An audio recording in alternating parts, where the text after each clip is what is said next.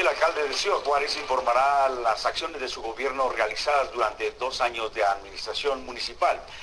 La mayor expectativa la provocan las cifras de reducción de la violencia en la ciudad, así como la inversión en equipo para seguridad pública. Pero sin duda el informe llega en medio de una controversia por las malas condiciones generales del pavimento de la ciudad y la propuesta de invertir millones de pesos en programas de movilidad urbana y renovación del centro histórico. Héctor Murguía ya entregó su informe para revisión a los regidores del ayuntamiento, pero esta noche lo hará de manera pública para que todos los juarenses sepan y analicen las acciones del gobierno de la administración.